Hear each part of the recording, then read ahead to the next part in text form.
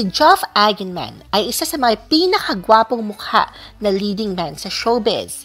Pinari siya sa mga magagandang babae noon sa mga serye at pelikula.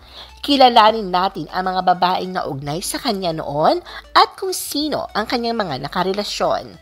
The Philippine Showbiz List presents mga babaeng na link at nakipagrelasyon kay Geoff Eigenman.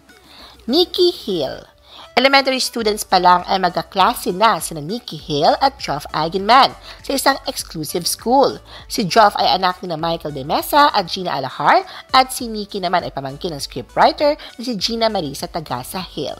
Unang pumasok sa pag-aartista si Geoff sa GMA7 bago siya lumipat sa ABS-CBN.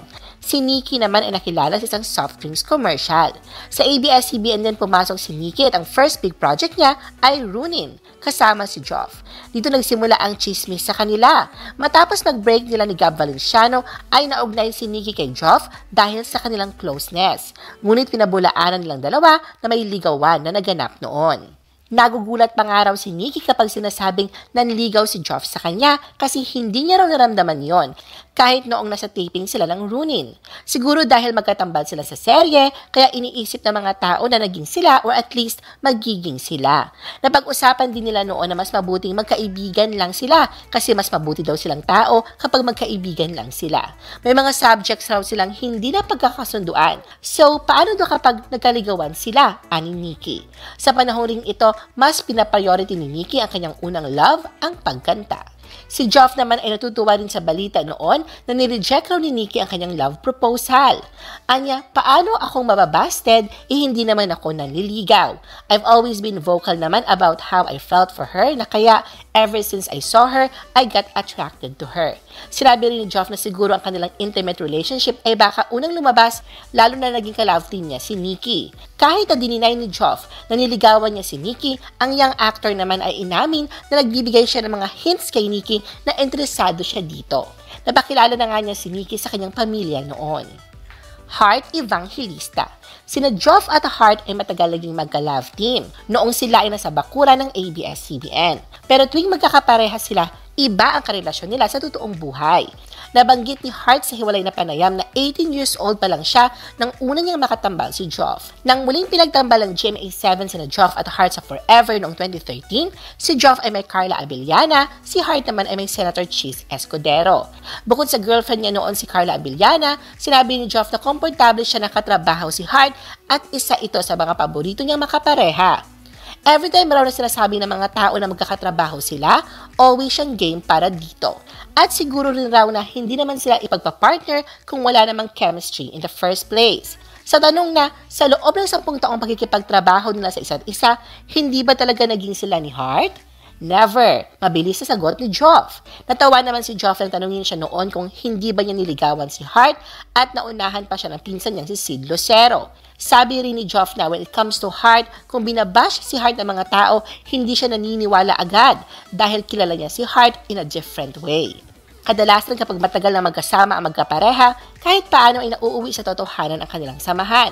Sumasagi ba sa isipan ni Joff kung bakit hindi naging sila ni Hart? Tugon ni Joff, Yeah, before it came to mind, but it's a question that I know the answer to. So, it's a question that never really bothered me kung bakit ganyan.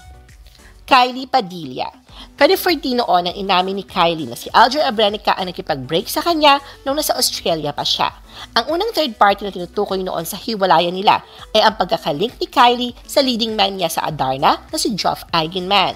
Marami tuloy ang mas na-intriga pa lalo noong umamin si Alger Abrenica na nagkaroon daw sila ng iringan ni Geoff. Ito'y dahil tinangkaraw ni Geoff na pormahan si Kylie na girlfriend pa noon ni Alger pero mariing itinatanggi ito ni Kylie.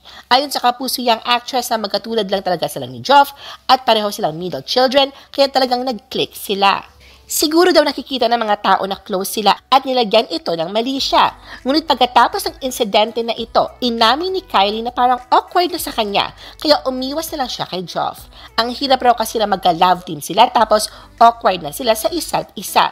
Nagkausap at nagkaayos rin sa huli sina Alger at Joff dahil sa text messages na pinadala di umano ni Joff sa kasintahan ni Alger na si Kylie. Carla Abellana Sina Carla at Geoff ay unang nagkapareha sa local adaptation ng Rosalinda, kung saan gumanap si Carla sa title role at si Geoff naman ang kanyang leading man bilang si Fernando Jose. Ang ibang show pa nila na magkasama is The Last Prince at Magic Palayok. Naghiwalay sila ni Carla noong unang bahagi ng 2014 pagkatapos ng apat na taon nilang relasyon. Sa isang live interview sa Star Talk noong April 13, 2014, binasag ni Carla ang kanyang pananahimik pagkatapos ng ilang mga linggong espekulasyon na siya at ang pangalawang anak nila Gina Alahart at Michael De Mesa ay hiwalay na. Nang tinanong sa rason kung bakit sila naghiwalay, ani Carla na magkaiba lang talaga silang dalawa. Anya, we don't share the same values. It was the small things that contributed to just one big thing. We clash more than we got along. So there are many reasons. Pinabulaanan din niya ang mga chismis na third party ang dahilan ng kanilang breakup. At inamin niya na sinubukan naman nilang gawin ang lahat upang mag-work ang kanilang relationship. I guess the best thing and the worst thing was the breakup. Ito ang sagot ng kapuso actor na si Jeff Eigenman nang tanungin siya noon kung ano ang maituturing niyang pinakamagandang nangyari sa kanya noong 2014 at ano rin ang pinakapangit.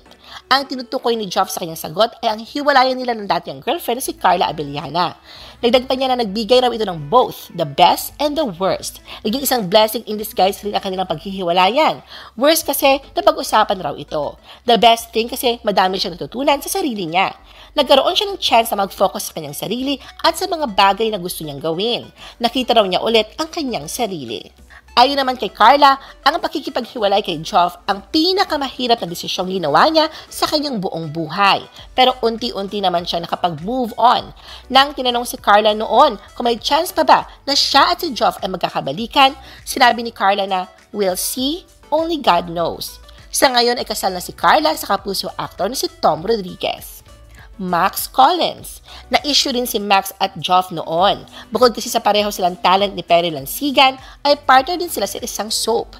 Noong 2015, parehong single sina Max at Joff. Kaya sa press con, natanong ang magandang aktres kung may possibility bang may mamagitan sa kanila ni Joff. Hindi po naman imposible. Nakangiting sagot ni Max. Dagdag pa niya, hindi po natin alam kung ano ang mangyayari. Hindi naman sarado ang puso ko. Si Joff po naman, kilala ko na matagal na dahil magkasama kami sa PPL Entertainment. Mabait, mahusay na aktor, gwapo, kaya there's no reason kung bakit hindi ako pwedeng ma-inlove sa kanya. Pero sa ngayon, friends lang kami. Hindi rin natin masabi. Pero diretsang sinabi ni Max na ayaw niyang maling sa aktor at sabihin ng tao na siyang ipinalit nito sa ex-girlfriend na si Carla Abellana. Maya Flores February 2016 na lumabas ang balita na may namumuo ng magandang pagtitinginan kina Joff at sa singer na si Maya. Bukod sa pagiging sweet, ang pagiging maalaga raw ni Joff ang nagustuhan ni Maya na katangian ng boyfriend. Ayon kay Maya, maayos ang pagtanggap sa kanya ng pamilya ni Joff, lalo na ng ina nito. September 2017 nang winelcome nila Joff at Maya ang kanilang baby girl noong September 23, 2017 at pinangalanan nila itong Arabella Simone Agenman. April 2019 nang na-engage na Joff at Maya. July 2019, Father's Day, inanunsyo ni Joff ang paglabas ng pangalawang anak nila ni Maya. At noong October 31, 2020, winelcome ni na Joff at Maya ang kanilang pangatlong anak na si Pepper. At noong February 22, 2022, ikinasal na ang aktor na si Geoff Agenman sa kanyang longtime partner at fiancé na si Maya. Naganap ang Christian wedding na Geoff at Maya sa Victory Christian Fellowship Church sa Alabang, Muntinlupa. I-post ang inyong comments at reaction sa baba at huwag kalimutan na i-like at i-share ang video na ito. Gusto mo pa ba ng ibang showbiz videos? Panoorin ang aming iba pang top viewed videos. Para sa aming mga YouTube viewers, pumunta lang sa description ng video na ito o i-click ang link sa itaas ng screen. Para naman sa mga Facebook viewers, ay maaari ninyong hanapin ang mga link sa comment section ng video. I-follow nyo din kami sa Facebook at mag-subscribe sa aming YouTube channel. Thanks for watching!